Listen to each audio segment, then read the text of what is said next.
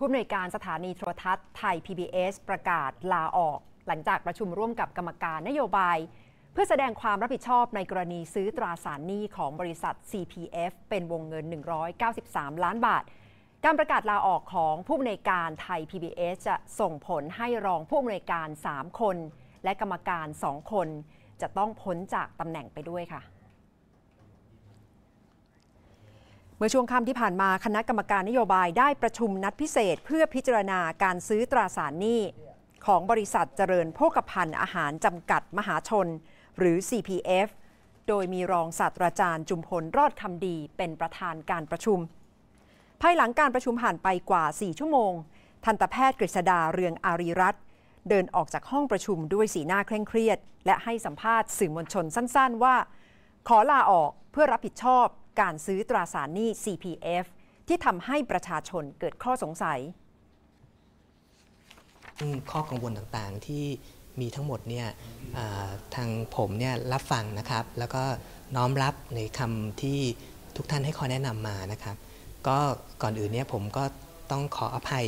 ในการดำเนินการในการตัดสินใจดำเนินการ แล้วก็กระทบต่อความรู้สึกของทุกคนเป็นอย่างมากนะครับ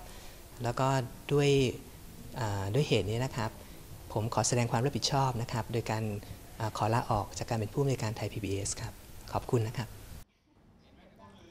โดยเมื่อ 30 นาทีที่ผ่านมาคณะกรรมการนโยบายออกหนังสือชี้แจงว่า แม้การดำเนินการซื้อตราสารหนี้ CPF จะถูกต้องตามกฎหมาย แต่เนื่องจากสสท เป็นสื่อสาธารณะ จึงพร้อมจะรับฟังเสียงท้วงติ่งของสังคม ซึ่งมีความเห็นว่า การซื้อตราสารหนี้ของบริษัท CPF เป็นการดำเนินการไม่เหมาะสม และคณะกรรมการนโยบายเห็นด้วย และขอชื่นชมการลาออกจากผู้อำนวยการสสท ในการนี้ผู้อำนวยการสสท ก็เลยขอลาออกเพื่อแสดงความรับผิดชอบ คณะกรรมการนโยบาย ชื่นชมการตัดสินใจ ผู้อำนวยการและฝ่ายบริหารว่าเป็นการแสดงความรับผิดชอบ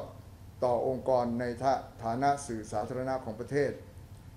แม้กรณีนี้จะไม่ใช่เรื่องทุจริตแต่อย่างใด คณะกรรมการนโยบายมีมติให้ขายตราสารนี้ดังกล่าวตามความเหมาะสมต่อไป การลาออกของผู้อำนวยการ สสท ครั้งนี้จะมีผลหนึ่งเดือนหลังจากการลาออก และจะส่งผลให้คณะกรรมการบริหารทั้งหมดที่มี 5 คนพ้นสภาพไปด้วย ก่อนหน้านี้คณะกรรมการบริหารสถานีโทรทัศน์ไทย PBS ชี้แจงกับพนักงานเป็นการภายในถึงเหตุผลในการซื้อตราสารหนี้ CPF รวมถึงได้ทำหนังสือแสดงความเสียใจต่อกรณีที่เกิดขึ้น